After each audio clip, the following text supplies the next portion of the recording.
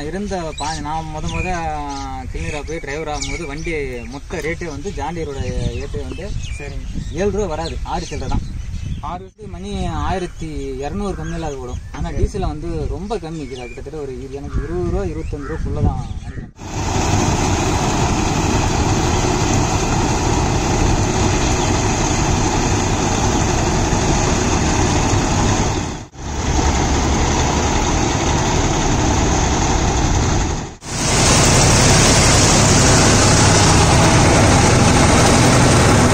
அனைவருக்கும் வணக்கம் இந்த வீடியோவில் பார்த்தீங்கன்னா டியூட் ஸ்பேர் ஆக்ரோலக்ஸ் ஐம்பத்தஞ்சில் பார்த்தீங்கன்னா ஓல்டு கிளாஸுங்கிற ஹார்வெஸ்ட் பார்த்தீங்கன்னா ஏற்றிக்கிறாங்க இந்த ஹார்வெஸ்ட்டோட பர்ஃபார்மன்ஸ் எந்த அளவுக்கு இருக்குது அதே மாதிரி இந்த டியூட் ஸ்பேரோட ஐம்பத்தஞ்சு ஹெச்பியில் பார்த்தீங்கன்னா ஹார்வெஸ்டரில் பிடிஓ பர்ஃபார்மன்ஸ் எந்த அளவுக்கு இருக்குன்னு சொல்லிட்டு இந்த வீடியோவில் தெளிவாக பார்க்கலாங்க அதே மாதிரி இந்த வீடியோவில் யூசர் ஃபீட்பேக்கோட இந்த வீடியோ இருக்குங்க. அதாவது யூஸ் பண்ணுறதுக்கு எப்படி இருக்குது டயர் லைஃப் எப்படி இருக்குது கிளச் லைஃப் எப்படி இருக்குது ஹீட் இஸ்யூ அதாவது ஹீட் வந்து வருதா காலுக்கு? அதே மாதிரி கீர் ஆப்ரேட் பண்ணுறதுக்கு எப்படி இருக்குது பிரேக் எப்படி இருக்குது அப்படின்னு சொல்லிட்டு இந்த வீடியோவில் தெளிவாக பார்க்கலாங்க. அண்ணா வணக்கம். உங்கள் பேருங்க? வணக்கம். என் பேர் செல்வராஜ். சரிங்க. எந்த ஊர்லேருந்து வரீங்க நான் வந்து ஆத்தூர். வண்டி வந்து திருச்சி மாவட்டம். ம். துறையூர் வட்டம். சரிங்க. துறையூரில் பெருவம்பாளையத்துங்கிற ஒரு கிராமம். கிட்டத்தட்ட இந்த டீஸ் பேரில் வந்து நான் இப்போ கிட்டத்தட்ட ஒரு வருஷமா ஓடிட்டு இருக்கேன் முன்னாடி என்னென்ன வண்டி முன்னாடி வந்து நான் நான் வந்து கிட்டத்தட்ட ஒரு பதினஞ்சு வருஷமா மேலே இந்த ஆர்எஸ்டர் டிரைவராக இருக்கிறேன். ஹார்வெஸ்டர் டிரைவராக இருக்கிறீங்க இலங்கையெல்லாம் போய் ஒரு ரெண்டு சீசன் கிட்டத்தட்ட ஓட்டிருக்கிறேன். சரிங்க. என்னென்ன வண்டியெல்லாம் ஓட்டிக்கிறீங்க ஹார்வெஸ்டர் நான் வந்து சூராஜ் சாமி அடுத்தது அர்ஜுனு சரிங்க. ஜாண்டீரு எல்லாமே ஓட்டிருக்கிறேன் சரிங்க. எல்லா வண்டியும் இப்போ இந்த வண்டி இப்போ தான் ரீசெண்டாக ஒரு வருஷமா ஓட்டிட்டு இருக்கிறேன் சரிங்க. இந்த வண்டியும் பரவாயில்ல சீட்டு கீட்டு எல்லாமே ஓரளவுக்கு நல்லா இருக்கு கிளர்ச்சி கிளர்ச்சி நல்லா இருக்கு சரிங்க. பிரேக்கும் வந்து ஒன்றும் ஃபெயிலியர்லாம் இல்லை. நல்லா இருக்கு நல்லா இருக்கு மற்ற வண்டி ஓட்டுறதுக்கு இதுக்கு என்ன வித்தியாசம் இருக்குங்க வித்தியாசம் மற்ற வண்டி நிறைய பேர் எல்லாம் ஜாண்டீர் ஓட்டிட்டே இருந்துட்டு அதே அந்த கீர் கை ஓட்டாமனு சொல்றாங்க தவிர இதை ஃபர்ஸ்ட் ஓட்டுறவங்களுக்கு கொஞ்சம் ரெண்டு நாள் கொஞ்சம் சிரமமா சிரமமா இருக்குமா தெரியும். ஓட்டி பழகி ஆனா ஓட்டிட்டா வண்டி எல்லாமே நல்லா இருக்கு. அதே மாதிரி இதுல வந்து வீடியோ வந்து பவர் அதிகமாக கொடுத்துருக்கான் ம். ஃபைவ் ஃபார்ட்டி கொடுத்துருக்கான் சரிங்க. செவன் ஃபிஃப்டி ஒன்று கொடுத்துருக்கான் ஐம்பத்தஞ்சு ஹெச்பிலேயே பார்த்தீங்கன்னா பிடிஓ பவர் நல்லா இருக்கு. ஆமா வீடியோ போது நல்லா இருக்கு. இதுல செவன் ஃபிஃப்டி ஒன்று இருக்கு. சரிங்க. ஃபைவ் ஃபார்ட்டி ஒன்று இருக்கு. செவன் ஃபிஃப்டிலாம் போட்டா வண்டி ஓட்டவே முடியாது. சரிங்க. ஃபைவ் ஃபிஃப்டிக்கே வந்து நல்ல ஸ்பீடு வருது. நல்ல ஸ்பீடு வருது. இது வரைக்கும் கிறிஸ்டர் லோடு அப்படிங்கிற வேலைக்கு கிடையாது. ம். ஏதாவது வண்டிக்கு லோடு இல்லை ப்ரெஷர் எதுக்குமே லோடு இல்லை. லோடு கிடையாது. நாம பாட்டுக்கு ஓட்டிகிட்டே நம்ம விட்டுக்கு நீட்டாக ஓட்டிருக்கோம் நல்லா இருக்கு. நான் கிட்டத்தட்ட இப்போ ரீசெண்டாக ஒரு வருஷமா ஓட்டிட்டு இருக்கிறேன். சரிங்க. எந்த பிரச்சனையும் இல்லாமல் ஹீட் அந்த அளவுக்கு இல்லை. நல்லா இருக்கு. எவ்வளோ வெயில் ஓட்டினாலும் ஹீட்டெல்லாம் ஆ, வரும் அந்த அளவுக்கு தெரியல கால் லைட்டாக தெரியுது. கிளச்சில் எடுத்து நம்ம கீரை போட்டுட்டு கிளச்சி இருந்து காலை எடுத்துக்கிட்டனால அது ஹீட்டு ஒன்றும் அந்த அளவுக்கு தெரியல. நல்லா இருக்கு. ஜாண்டீர் ஓட்டுறதுக்கும் இது ஓட்டுறதுக்கு எப்படி இருக்குங்க? ஜாண்டீர் வந்து அப்போ அது கொஞ்சம் ஹீட் அதிகம். இது வந்து கொஞ்சம் ஹீட்டு கம்மியாக இருக்குது. கம்மியாக இருக்குங்க. கம்மியாக இருக்குது. டீசல் மைலேஜ் எப்படி இருக்குது டீசல் மைலேஜ் வந்து நாலுக்குள்ளே தான் வரும். நாலுக்குள்ளே தான் போகுது. நாலுக்குள்ளே தான் போகுது. அடுத்து சொல்லலாங்க. ஆமாம் கண்ணு கேரண்டியாக சொல்லலாம். சரிங்க. நாலுக்குள்ளே தான் போகுது. இப்போ ஈரமாக இருந்துச்சுன்னா அந்த ஃபீல்ட்லேயும் நாலுக்குள்ளே தான் போகுதுங்களா? கொஞ்சம் ஈரமாக இருந்துச்சுன்னா நாலு நாலரை. சரிங்க. நாலு நாலரை தான். நல்லா காஞ்சிருந்துச்சுன்னா காஞ்சிருந்துச்சுன்னா ட்ரை ஃபீல்டாக இருந்து நாலு தான். நாலு நாலுக்குள்ளே தான் போகுது. நாலுக்குள்ளே தான் மேக்ஸிமம் நீங்கள் என்ன கீர்லலாம் ஓட்டுறீங்க? நாங்கள் வந்து செகண்ட் வரைக்கும் ஓட்டுவோம் லோ செகண்டு லோ செகண்டு சரிங்க. ஏன்னா நான் இது வந்து லோ செகண்டு போகிற அளவுக்கு ம். ஜாண்டீர் வந்து தேடு போகும். அது தேட போகிற வந்து லோ செகண்ட்லேயே போகுதுங்க. செகண்ட்ல போகுது. ஸ்பீடு அவங்க செகண்ட்ல ஓட்டுறப்ப நம்ம ஃபர்ஸ்ட்ல ஓட்டினாவே அந்த ஸ்பீடுக்கு போகும். வீல் ஸ்பீட் நல்லா இருக்குது. ஆமாம் வீல் ஸ்பீடு நல்லா இருக்கு. நீங்கள் என்னென்ன ஏரியாக்கெல்லாம் போய் ஓட்டுறீங்க இப்போ வேலை நாங்கள் ஃபாரஸ்ட் ஆர்எஸ்டர் ஆந்திரா போய் ஓட்டுக்கிறோம். சரிங்க இப்போ ரீசெண்டாக வந்து அந்த தஞ்சாவூரில் ஓடிச்சு தஞ்சாவூரில் திருக்காட்டுக்குள்ளிங்கிற ஒரு ஏரியாவில் ஓடிட்டு நீங்கள் ஓட்டின வரைக்கும் ஃபீல்டு வந்து இங்கே ரொம்ப பெருசாக இருக்குதுங்க ஒரே ஃபீல்டாக இருக்குதுன்னா அது எந்த ஏரியாவில் ஃபீல்டு வந்து நல்லா ஃபீல்டு இருக்குங்க? ஃபீல்டு பெருசாக இருக்குன்னா அது கர்நாடகா தான். கர்நாடகா தான் கர்நாடகா தான் ஆந்திரா ஏரியாங்க ஆந்திரா ஏரியா இருக்குது ஆனால் இப்போ நாங்கள் போகிறதில்ல ம். முன்ன போயிட்டு இருந்தோம். இப்போ இந்த வண்டி வந்து ஜாயின் பண்ணுறது வந்து இப்போ போகல இப்போ இந்த வண்டி எங்கெங்கெல்லாம் ஓடுதுங்க? தமிழ்நாடு மட்டும் எல்லா இடத்துலையும் இருக்குது நான் ரெகுலராக போகிற இடத்துல எல்லா இடத்துலையும் பார்த்துருக்குறேன். இல்லை இல்லை அதை சொல்றீங்க. நீங்கள் இந்த வண்டி ஓட்டுறீங்கன்னா எந்தெந்த ஏரியாவில் போய் ஓடுது?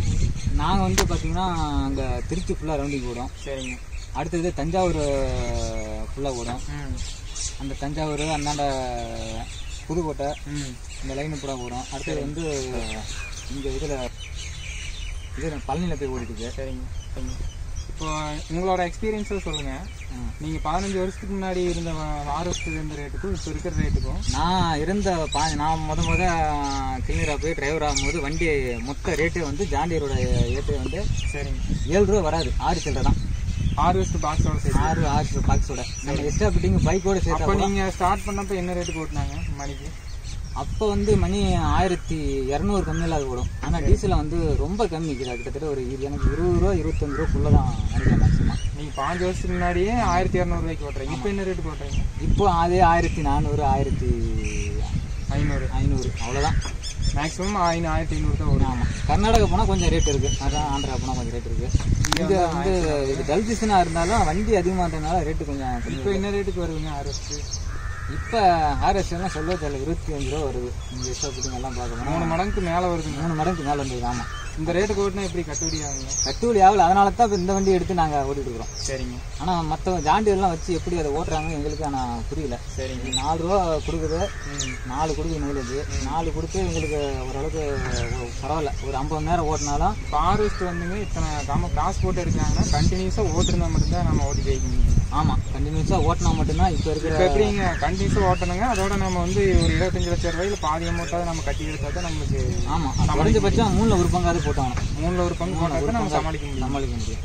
இல்லைனாலும் மூணில் ஒரு பங்கு போட்டு நம்ம இதே வேலையாக இருக்கணும். அப்படியே தான் திரும்ப தொடர்ந்து ஓடிட்டே இருக்கணும் வருஷம் வந்து எங்கே ஏரியா இருந்தாலும் எடுத்துகிட்டு போய் கரெக்டாக ஓட்டணும்னா மட்டும்தான் ஹார்வெஸ்ட்டில் வந்து சமாளிக்க சமாளிக்க முடியும். ஆனால் காசு அந்த அளவுக்கு போகலைங்க ஆமாம் சரிங்கண்ணா ரொம்ப நன்றி. ரொம்ப நன்றி.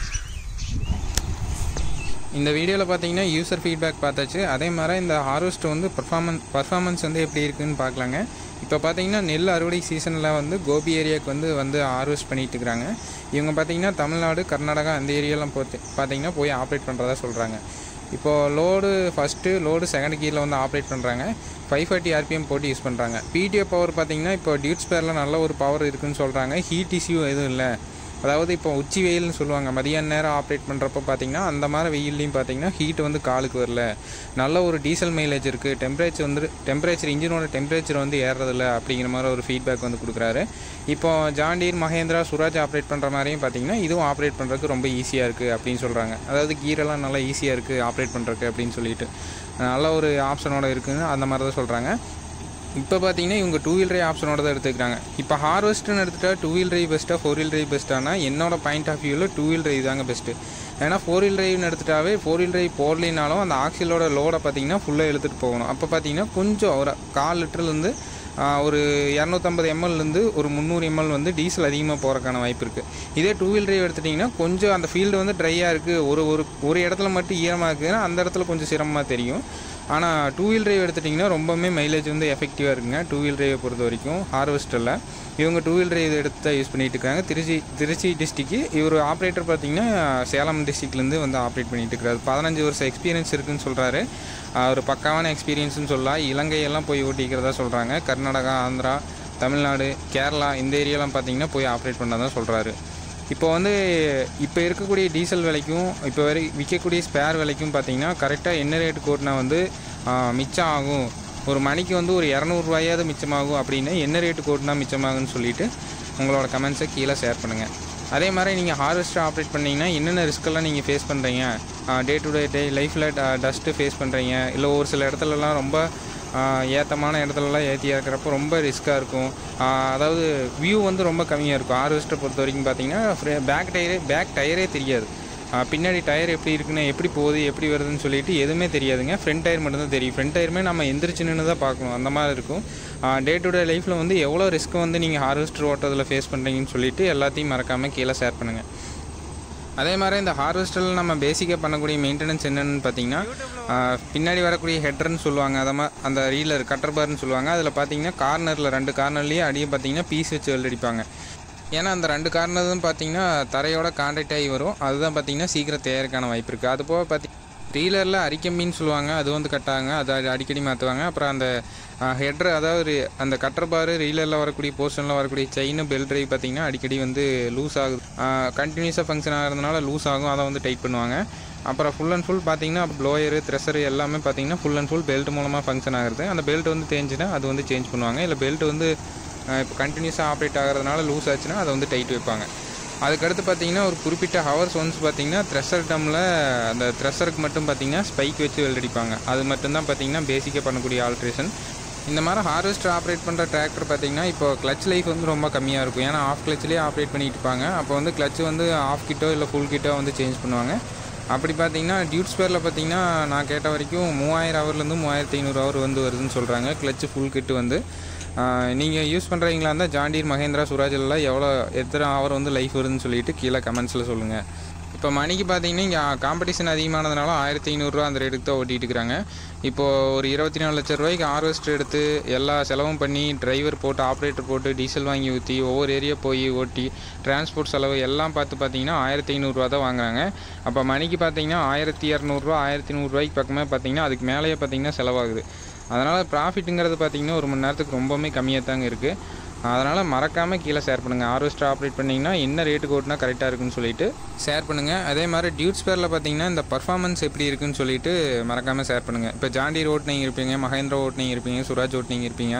சூரா சுரா டியூட் ஸ்பேரில் வந்து இந்த ஹார்வெஸ்டர் ஓட்டியிருந்தீங்கன்னா எப்படி இருக்குன்னு சொல்லிட்டு கீழே ஷேர் பண்ணுங்கள் மேலும் இந்த வீடியோ பிடிச்சதுன்னா மறக்காமல் சப்ஸ்கிரைப் லைக் அண்ட் ஷேர் பண்ணுங்கள் மேலும் இது போன்ற ஒரு சுவாரஸ்யமான வீடியோ பதிவுடன் சந்திப்போம். நன்றி வணக்கம்.